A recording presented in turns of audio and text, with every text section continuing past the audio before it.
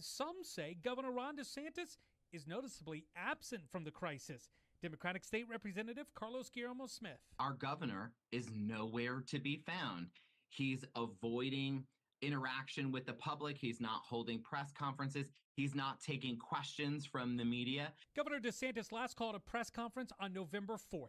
It was not about the coronavirus pandemic, but the election, and lasted only about 11 minutes. Um, I'll be back uh, to, to, to take questions probably sometime before the weekends. Thank you, guys.